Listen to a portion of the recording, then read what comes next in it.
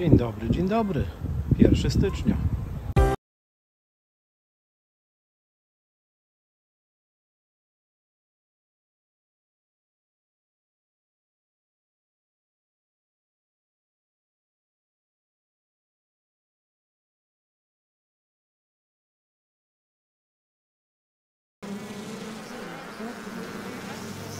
Miałem dziś nadzieję, że to trochę inaczej będzie u mnie to wyglądało w Polsce Północnej. Słońca nie ma. 13 stopni. Ale dla tej rodziny to jest zbawienie, bo tutaj się oblatuje młoda pszczoła i jednak przydatne jest takie ocieplenie chyba w ich przypadku. Tutaj widać jak sprząta gębalowa. No bardzo ładnie. I co najważniejsze, ruch jest w każdej rodzinie. Tam z tyłu również na wylotku pszczoły, tu też, tu również. Tutaj y, w motylkach widziałem, że wylatywały. Tutaj jest również spory ruch pszczoły wylatują. I teraz moje odkłady. No, wygląda na to, że nic nie zniknęło. Jest wielkie sprzątanie. Podejrzewam, że wielkie przenoszenie pokarmu. Tutaj nie zdążyłem, ale właśnie była wynoszona pszczółka. No i dziś jestem tu po to, żeby zerknąć, co się dzieje na ramkach. Tutaj wygląda jakby był jakaś próba rabunku ale może mi się tylko tak wydaje, bo jeżeli pszczoły u góry tutaj szaleją to coś jest nie tak. Ale ogólnie jest wielkie sprzątanie.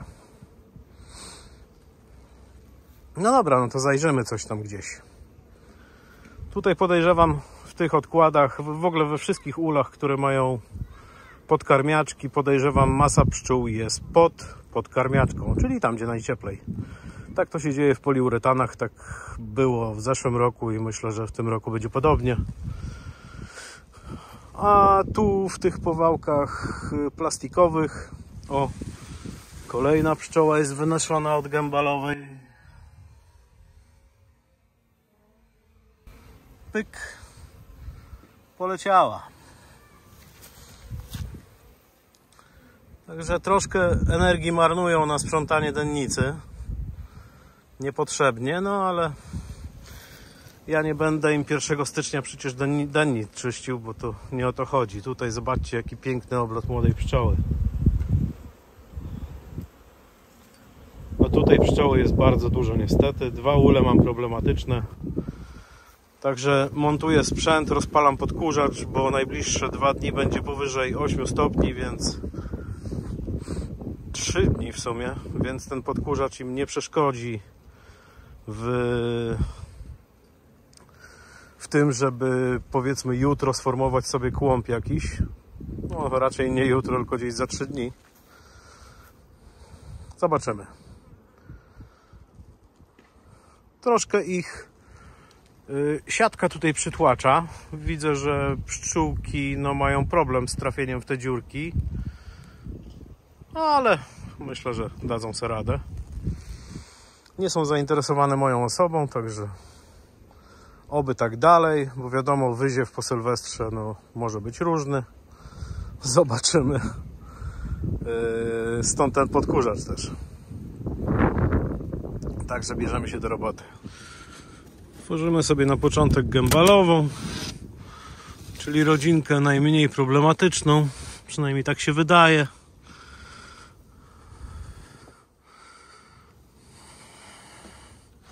Temperatura 14.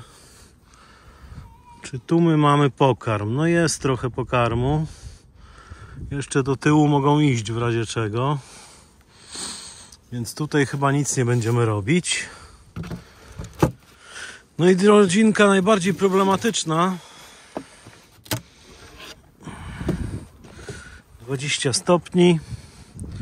I chyba musimy ją otworzyć, bo ja jestem bardzo ciekaw, co tu się dzieje.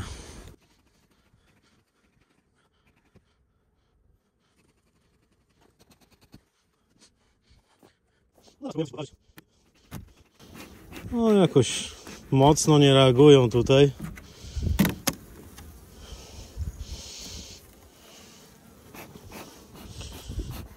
Przypominam, że jest w tej chwili temperatura w granicach 14. Mnie interesuje, co tutaj się dzieje na tej ostatniej ramce.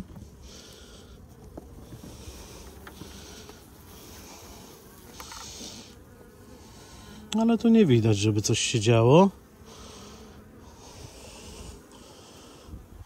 Osyp jest dosyć spory. Być może to młoda pszczoła, która nie zdążyła się oblecieć. Teraz zobaczmy drugą ramkę. Jak widać, kłębu to tu, to tu nie ma w ogóle. Jestem mocno zdziwiony, bo tutaj tak przynajmniej na razie mało ataku. No nie, kochani, tutaj wy tu macie co jeść. Teraz jak najmniej tutaj. No to jestem zdziwiony, bo tu myślałem, że głód jakiś straszny.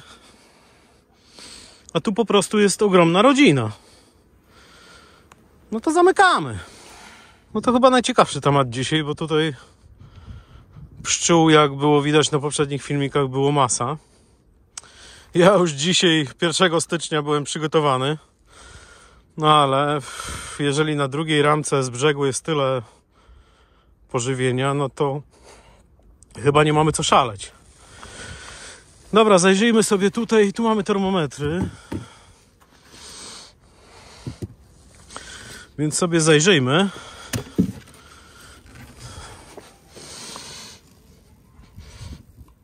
Te rodzinki były dosyć dobrze zakarmione. 20 stopni w środku.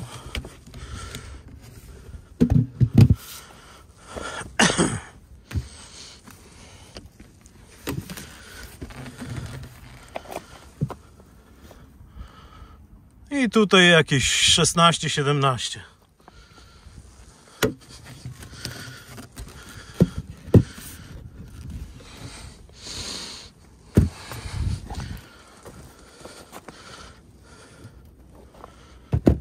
To ja je tu nie będę niepokoił, bo widziałem, że wylatują z tych uli. Więc yy, jedyne co, to możemy jeszcze sprawdzić osyp.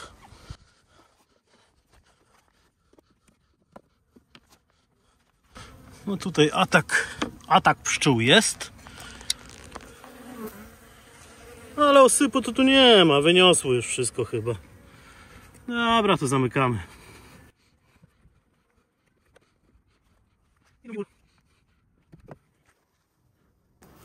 No tutaj jest więcej, to tutaj im pomożemy troszkę.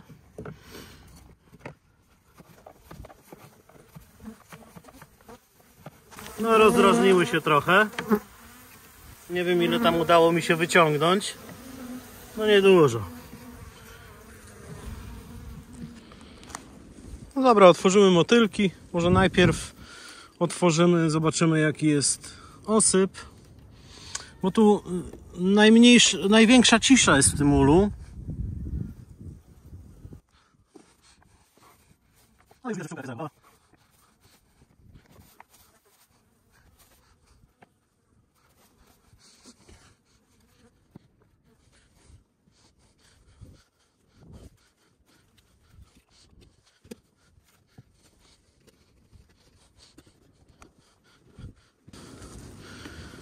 Niestety zerwał się wiatr.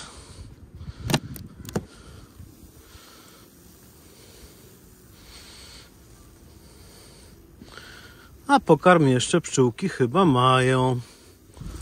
Ale mają też dużo wilgoci, zobaczcie. Tu jest dużo pleśni, bardzo źle. To znaczy, że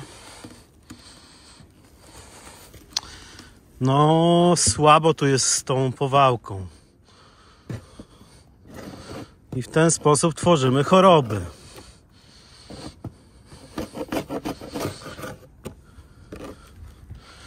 No a mówią, że ule drewniane oddychają, prawda?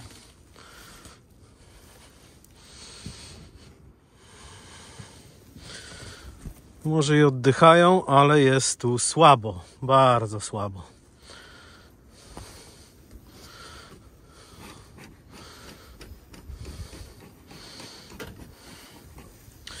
Pszczół, jak widać, jeszcze na zewnętrznych uliczkach jest pełno. Y, Nawet tutaj z tej strony. Ja sobie chcę tylko jedną wyciągnąć, żeby zobaczyć, jak wygląda sytuacja z pokarmem.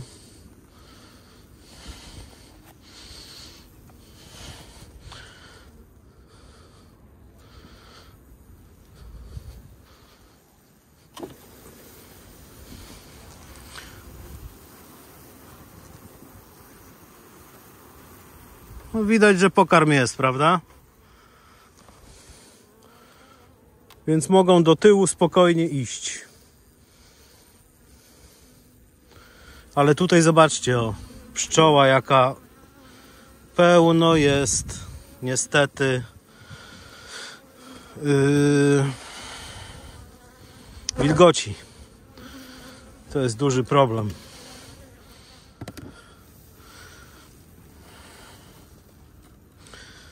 No, pszczółki spokojne.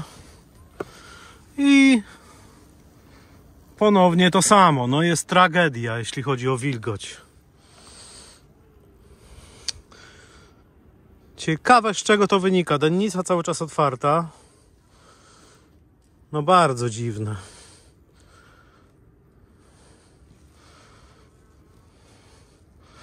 Jak tutaj z pokarmem jest? No musimy zobaczyć, bo tutaj coś mi się nie podoba.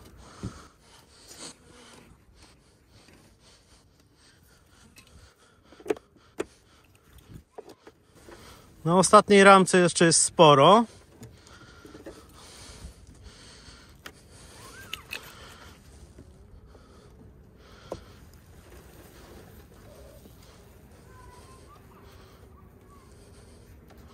Na przedostatniej też tragedii nie ma. Czyli zakładam, że jeśli chodzi o pokarm, to dadzą radę.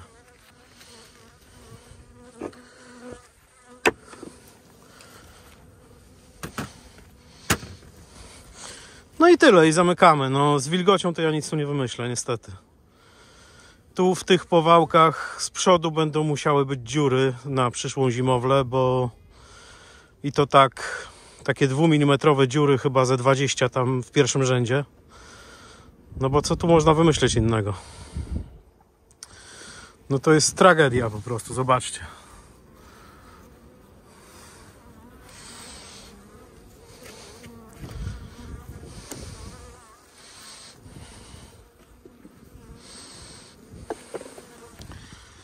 O, a tu mamy pierzgę, która sobie spokojnie zimuje.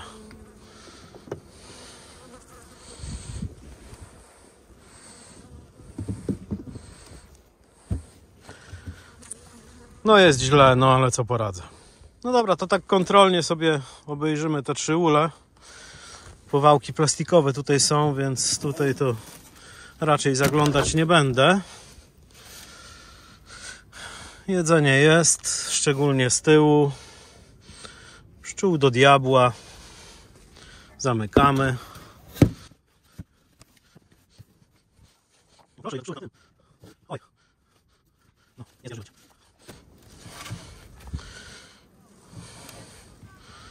Tutaj również jedzenie z tyłu. Również pszczół dużo.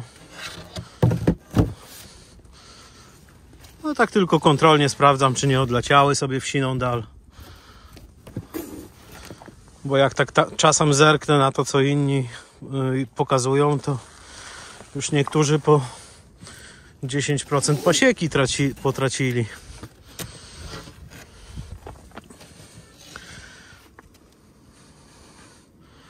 No tu też wygląda to dobrze. Rozkłębione są.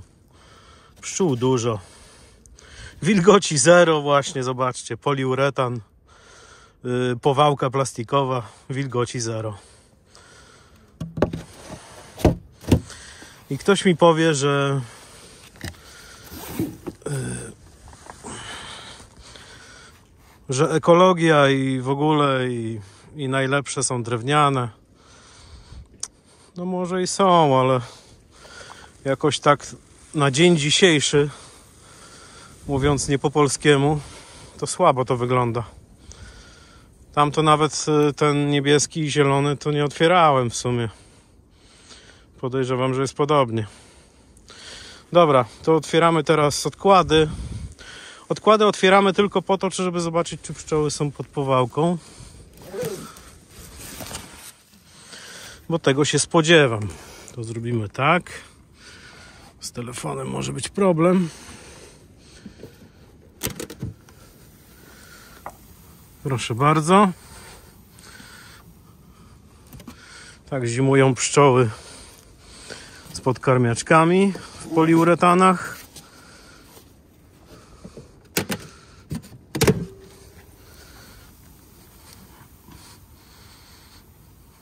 Jedzenie mają. Zaraz pozamykam.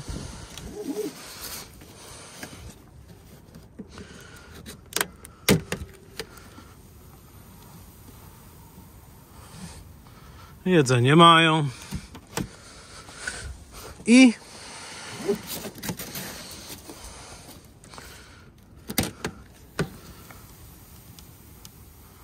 I jedzenie też jest tutaj.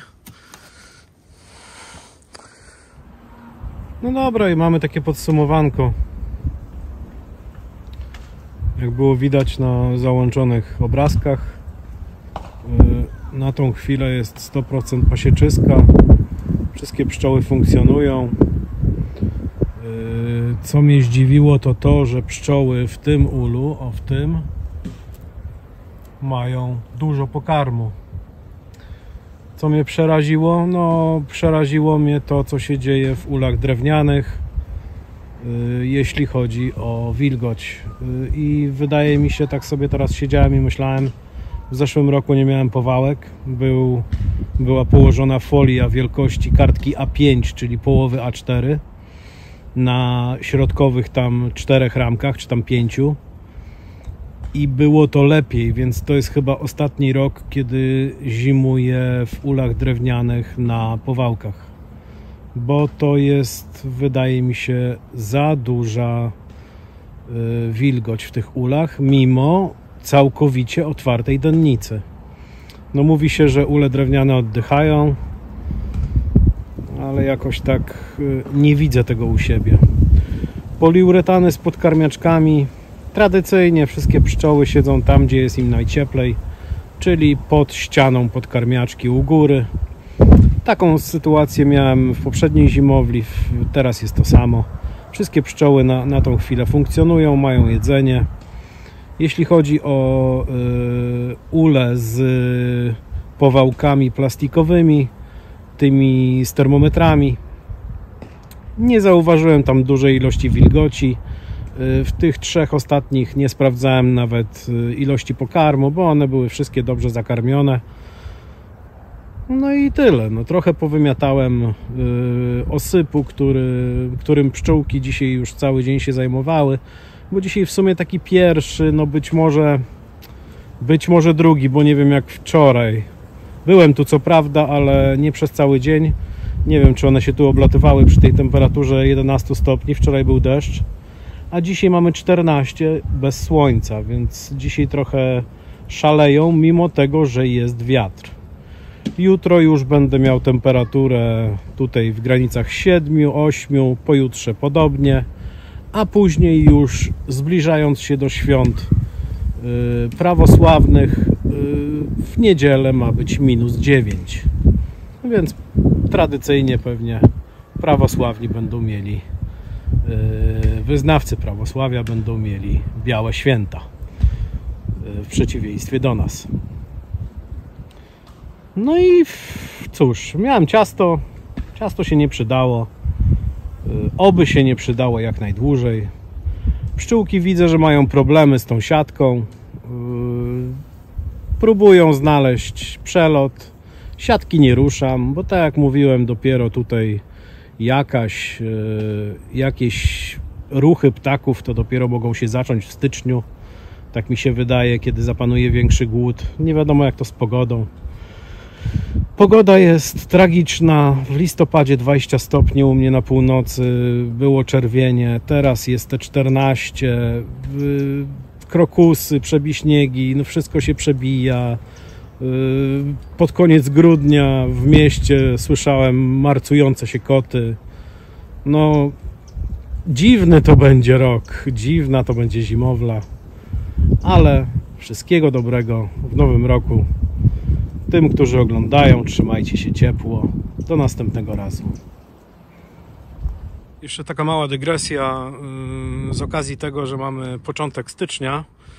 Yy, Pamiętajcie o tym, że te obrazki, które pamiętamy z zeszłego roku, z fruwającym styropianem gdzieś tam koło Mławy, to były obrazki z 22 stycznia, więc jeżeli macie jakieś tam płoty na, czy jeszcze niezabezpieczone ule przeciw wiatrom, to ja proponuję zrobić to w najbliższym czasie. Bo to, co się działo tutaj u mnie i w centralnej Polsce w zeszłym roku, tak mniej więcej za trzy tygodnie, to był pogrom. Także proponuję mieć to na uwadze.